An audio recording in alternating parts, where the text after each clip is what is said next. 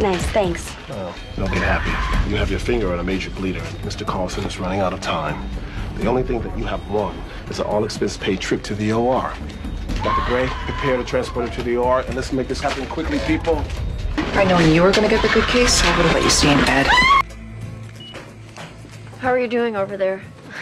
My hand's getting numb. And I gotta tell you, this whole insides are bloody and squishy thing is so not good for my gag reflex. But I'm good. Is this okay? Me being in here like this?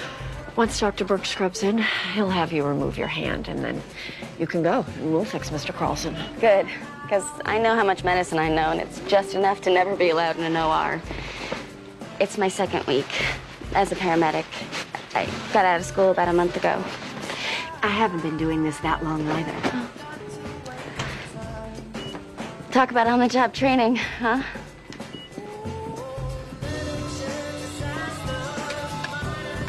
Look, I need to speak with you. I am in surgery, Karev. You want to talk to me, sir?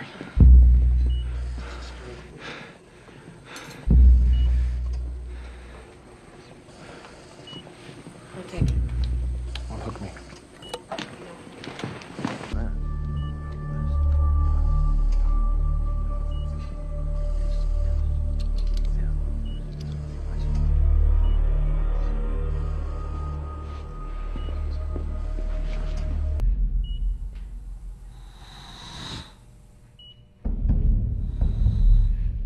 So, so I'm touching live, unexploded ammunition.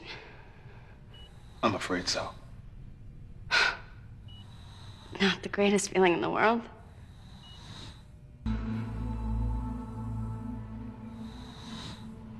Pink mist. Excuse me. That's what the bomb squad calls you when you blow up. Pink mist. I read that somewhere.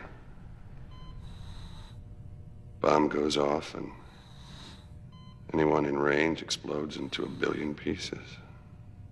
You're liquid. There's nothing left. Just flecks of human flesh and blood. Pink mist. Sometimes they don't even find a finger. One minute you're a person, the next you're bloody rain.